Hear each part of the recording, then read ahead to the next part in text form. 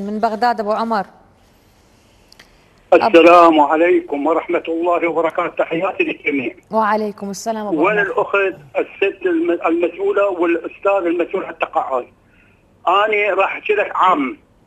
أنا خدمتي قسما بالله أكثر أكثر من أكثر من 48 سنة. مم. والله ثم والله ثم والله أحمل الأمراض الكثيرة. ما راح أذكرها كلها بس الله عليها. المهم المهمة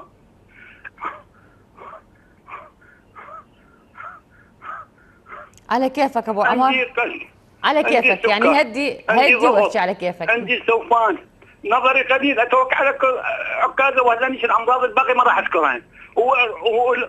ماني ما قاعد أسمع الصوت قليل ما أسمع إيش أبو عمر تسمعني؟ والمسؤول الدولة الحزم للمتقاعدين وينها؟ يقولون ما لا يفعلون. يا عم نريد المصداقية. ما جاءنا واحد مسؤول من 2001 من 2000 وما أدري 2003 يحلنا كلها كذب كذب وكذب. ليش هسه دمرتوها حسبي الله ونعم الوكيل. حسبي الله ونعم الوكيل. ما ثبت ما عندهم مصداقية ويا المجتمع. والله العلي العظيم. الميزانيات الانفجارية من 2003 وينها؟ ليش هسه ظالمين الشعب؟ ما خلينا ما تخافوا من الله. باكر عقب باكر نسحلكم حسب الطيبين وحسب الاخيرة يا أنا أشكرك أبو عمر. يعني مع الأسف آه، يعني هذا حالنا إحنا.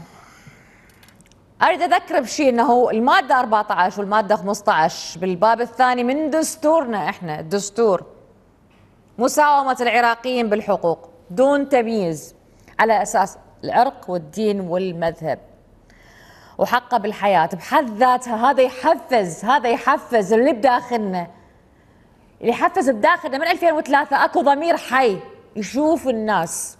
عندي اتصال؟